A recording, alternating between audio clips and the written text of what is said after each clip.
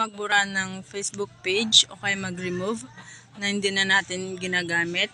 Bago po yan, mag-follow po kayo sa ating Facebook page para po lagi po kayong updated sa ating tutorial.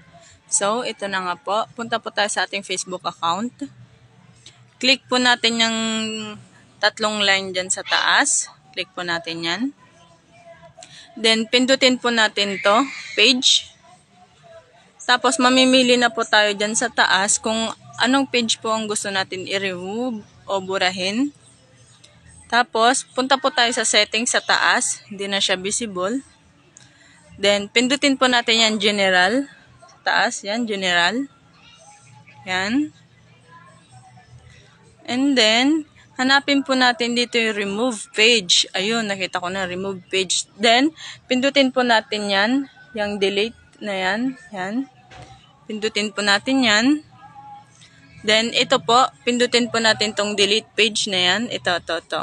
Yan, pindutin po natin yan. Then po, yan. Ito po sabi niya dito, page enter deletion mode. You can cancel the deletion within 30 days. Ibig niya sabihin guys, pwede mo pa siyang bawiin hanggat hindi pa natatapos yung 30 days. Sana po may natutunan po kayo. Thank you!